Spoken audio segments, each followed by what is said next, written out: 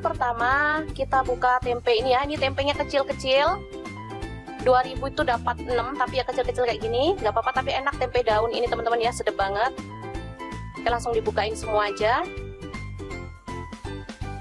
Selanjutnya potong-potong daun bawang. Di sini saya pakai kurang lebih 4 batang. Untuk bumbunya ada bawang putih 3 siung, ketumbar bubuk 1 sendok teh, kunyit bubuk 1 sendok teh. Lalu ada garam 1 sendok teh. Kaldu jamur saya pakai setengah sendok teh, boleh diganti kaldu ayam ya. Selanjutnya tepung maizena saya pakai 2 sendok makan. Lalu tepung terigu di sini saya pakai 5 sendok makan. Tuang air sedikit demi sedikit. Saya pakai airnya ini kurang lebih 200 ml ya teman-teman. Karena masih terlalu kental jadi saya tambahkan lagi 50 ml jadi sekitar 250 ml ya airnya totalnya.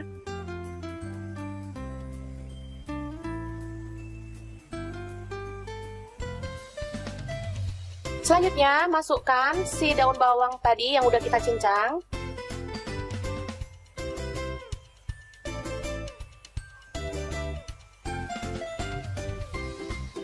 aduk merata.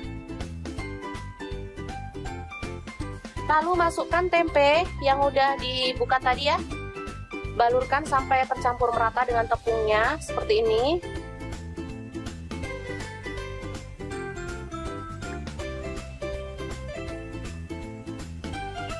selanjutnya panaskan minyak lalu goreng tempe yang udah terbalur dengan tepungnya satu-satu seperti ini ya teman-teman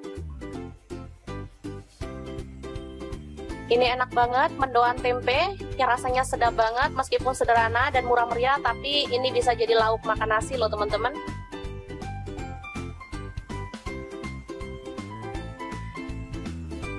Goreng hingga setengah matang aja, jangan terlalu kering. Tapi kalau teman-teman suka kering boleh sih ya. Saya gorengnya setengah matang. Kemudian angkat dan tiriskan. Hmm, aromanya benar-benar wangi. Harum banget dan pastinya menggugah selera.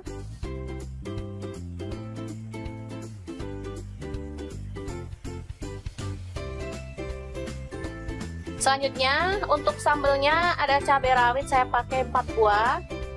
Diiris-iris kasar seperti ini. Lalu ada bawang merah saya pakai 2 siung. Diiris-iris tipis dan bawang putihnya 2 siung juga. Kalau teman-teman nggak suka mentahan boleh digoreng ya teman-teman untuk uh, bawang merah dan bawang putihnya.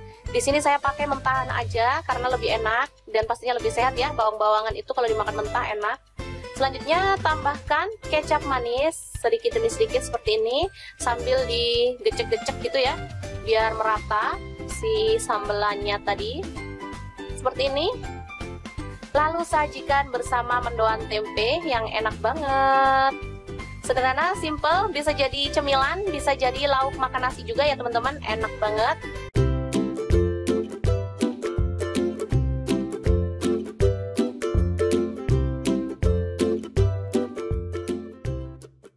Oke, langkah pertama siapkan satu papan tempe, kemudian potong kecil-kecil.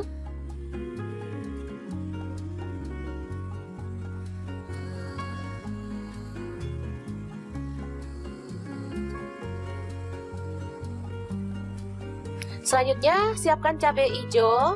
Saya pakai 4 buah, dipotong serong ya. Tomat saya pakai 2 buah, langsung aja dibelah menjadi berapa gitu.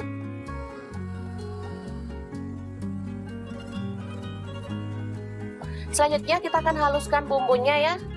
Di sini saya menggunakan chopper. Ini ada bawang putih saya pakai 5 siung.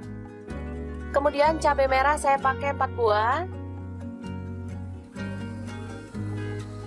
Lalu bawang merah saya pakai 7 siung. Cabai rawit saya pakai 10 buah. Lengkuas 2 potong kecil, kencur 1 potong. Kemudian garam 1 sendok teh. Gula pasir dan kaldu jamur 1 sendok teh. Kemudian kunyit bubuk 1 sendok teh. Lalu ada kemiri 4 butir, Selanjutnya kita tambahkan minyak ya. Lalu kita akan haluskan.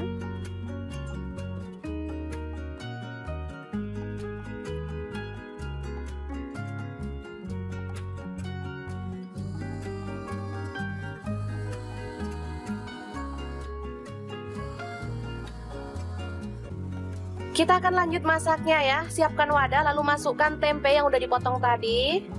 Masukkan teri, kemudian kita akan tambahkan bahan lain di sini ada lam toro atau pete Cina ya. Kemangi, saya pakai satu ikat kecil. Selanjutnya ada cabai hijau yang tadi dan juga tomat. Lalu ada kelapa muda yang diparut ya, saya pakai 3 per 4 buah. Baru kemudian kita campurkan bumbu yang sudah dihaluskan tadi.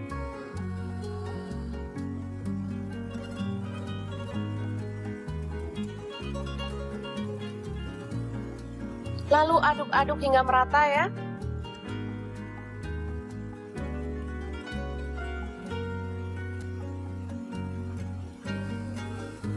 Oke, setelah merata seperti ini, kita bisa siapkan daun ya, daun pisang. Dan kita akan ambil bahan 1 atau 2 sendok makan. Baru kemudian kita akan bungkus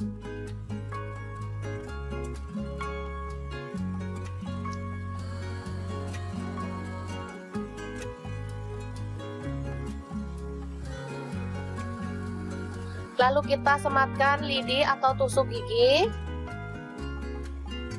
Biar rapi kita bisa potong bagian atasnya ya teman-teman. Oke dan kita akan lakukan terus hingga selesai. Ini dia hasilnya. Banyak banget ya.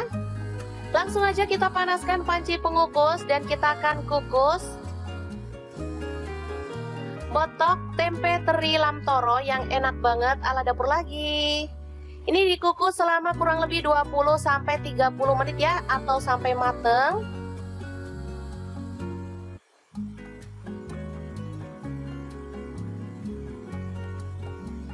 Hmm, ini udah mateng, aromanya sangat harum teman-teman, sangat menggugah selera.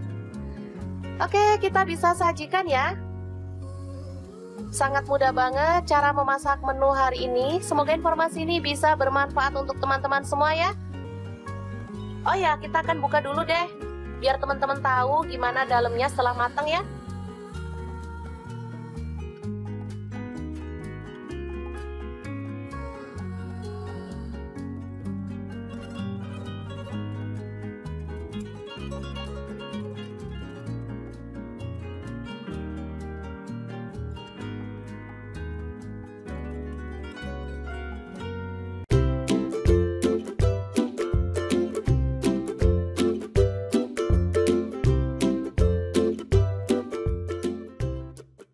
Langkah pertama siapkan daun pepaya. Ini beli dua ikat ya teman-teman.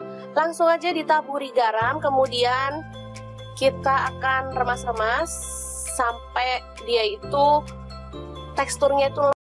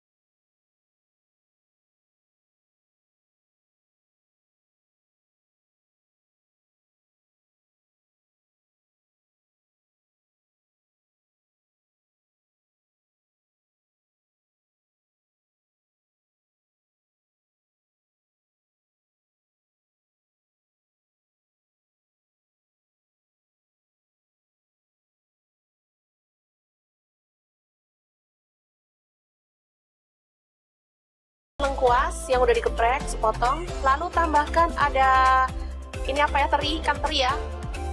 Ini opsional aja. Kalau teman-teman ada udang boleh tambahkan udang ya. Kalau nggak ada sih teri aja. Lalu masukkan tempe yang udah dipotong-potong tadi. Aduk-aduk.